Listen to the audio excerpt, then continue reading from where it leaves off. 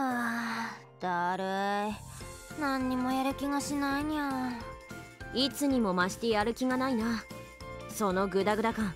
勇者として少々問題だぞ。だってどこに行ってもジメジメしてて辛いんだよ。何なのこれ。何って梅雨よ。そういえば北海道には梅雨はないと聞いたことがあります。梅雨がない？同じ国の中にそんな場所があるのか。そう北海道の6月は空気もカラカラで寒くも暑くもない最高に気持ちのいい季節。満開のラベンダー畑と青々と茂った牧場の緑を眺めながら外で食べるジンギスカン。こんなに元気なセッカ久々に見たな若葉ちゃん静かに。せっかさんは今6月の北海道に妄想旅行中なんですよ。雪の中でじっと冬を耐えてきたどさんこたちが短い夏に期待しながら元気になっていく最高の季節。だったんだけどね。ほんと何なの？梅雨って。ダラダラダラダラ何のためにこんなに毎日降ってるのよ。ダラダラは最近のせっかもいい勝負だと思うけど梅雨にも大事な役割があるのよ。役割？人をダラダラジメジメさせる以外に何かいいことやってんの？まあまあせっかさん落ち着いてください。梅雨が大地を潤してくれないと夏場になってから水不足で大変なことになるんですよ。うん頭では分かっててもやっぱりピンとこないんだよ。要するにだな。梅雨に雨が降らないとうどんを茹でる水が足りなくて困るというわけだ。うどんいらんわ。せっか。なんてことを一応言っておくがお前の好物のラーメンだって水がなければ。それならしばらくラーメンやめる。ご飯と味噌汁があれば。あご飯にもお味噌汁にも水は必要よね。はあ分かった。分かったよ。雨が大事ってことは分かったけどさ。どうせグズグズした天気なら台風でも来た方がマシ。また極端な。そんなことを言って実際に台風が来たら今度は。んにゃ。このジメジメを吹っ飛ばしてくれるなら大歓迎だよ。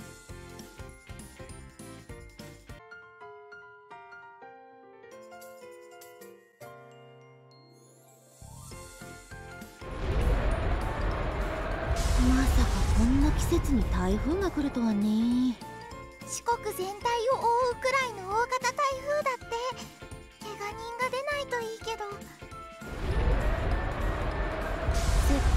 こと言うから。え私のせい？随分と切実に願っていたからな。その可能性はなきにしも。ないわ。えせっかさんのせいではありませんよ。ひなたかばってくれるの？いいえ私がかばうのは若葉ちゃんだけですよ。すみません。冗談ですよ。皆さん今新宅がありました。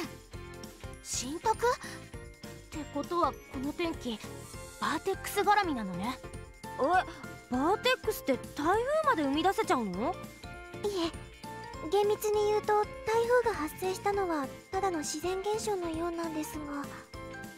その台風を造反神がとどめているようなんです。えやだ中電灯どこだっけ？いだ。お姉ちゃんそれにせっかさんどうしたんです？頭ぶつけた。また停電するかもしれないから懐中電灯くらいは見つけないと。って言ってるそばから。いだ。あーもう梅雨も嫌だけど台風も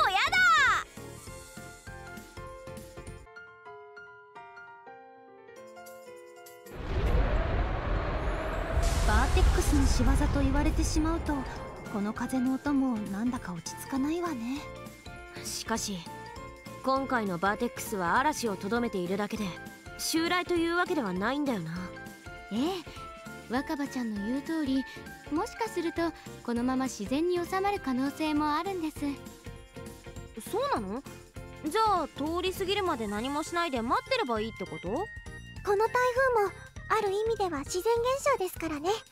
待つというのも手ではあります。そういうことなら各自自宅待機でいいんじゃない？仕掛けは家でゲームしてたいだけだろう。そんなこと。確かに台風の日はオンライン対戦の相手が増えて盛り上がるけど。千景さんそれでなかなか出てこなかったんだ。でも嵐がいつまでも過ぎなかったら畑がデストロイしちゃうわ。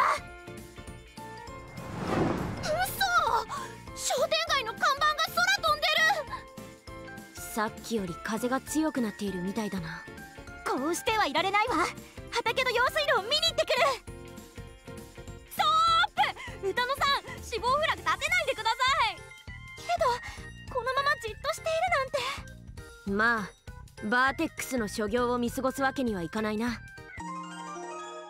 またいいタイミングで鳴ったわね。よし。バーテックスを倒して台風を遠くにぶっ飛ばしてやるぞ。ああ。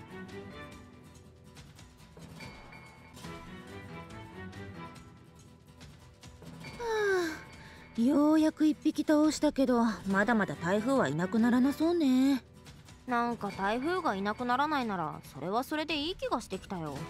さっきまであんなに嫌だって言ってたのに。だって台風が来てから梅雨のジメジメが少し落ち着いた気がしない？言われてみればそうね。出かけるのは大変だけど室内にいる分には梅雨より台風の方が過ごしやすいってことが分かったし。梅雨だって気分よく過ごす方法はあるのよ。本当に？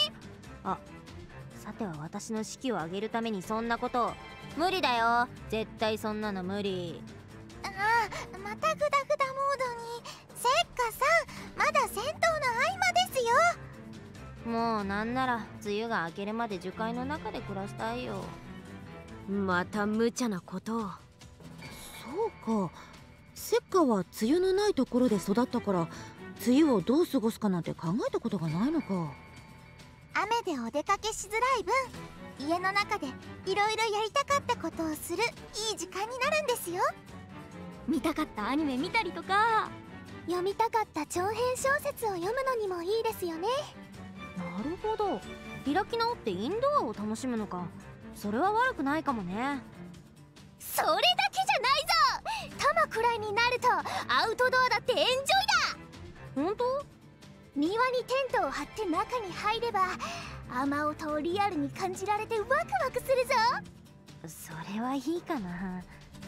そういえば沖縄は四国よりも先に梅雨入りするんですよね。夏目さんは梅雨の時はどんな風に過ごしてるんですか？海に潜っている。えー、晴れでも雨でも海に入ってしまえば変わらないからな。絶対に真似はしないけど確かに一番のジメジメ対策だね。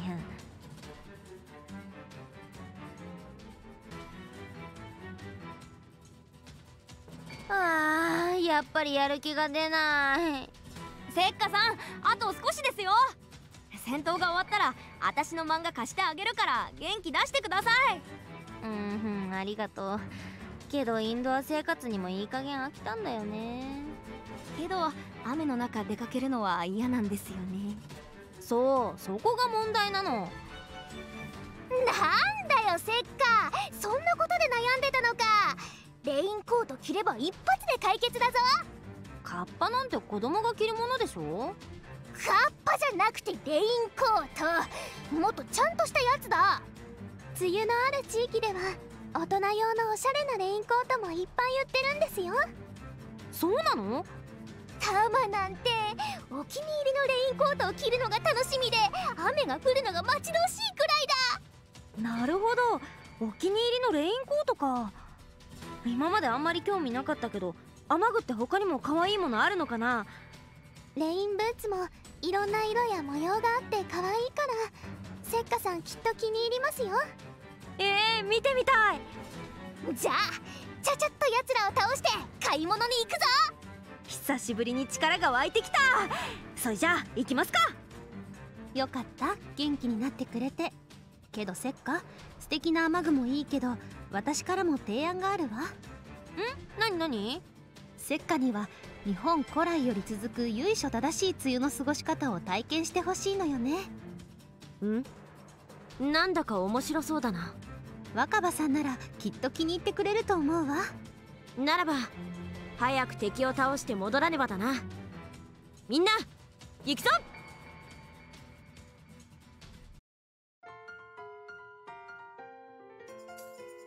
バーテックスも無事撃退！ってことでワッシー開会宣うん。それでは今から納涼をします納涼って何？何すんの？東郷さんせっかさんの分も準備できましたよ。浴衣？ああ納涼祭といえば浴衣を着るものだからな。そうこういう時期には風通しのいい浴衣の方が洋服よりも涼しいのよ。着付けは私とワッシーに任せてね。はい完成。あありがとうでは早速寮を求めて出かけるとしよう。っていうか嵐が過ぎたら晴れるかと思ったのにまた少し雨が降ってきちゃったね。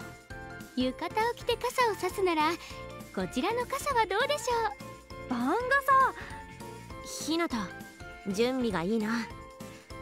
けどそれはお前の傘だろ。濡れる前にこっちに入れ。う ありがとうございます。時代劇でしか見たことなかったけど番傘って内側から見ても洗練されたデザインなのね。せっか。浴衣も番傘もよく似合ってるわよ。なるほど。ファッションっていうと洋服ばっかり考えちゃってたけどこういうのもなかなか風情があっていいね。梅雨もたまには悪くないかも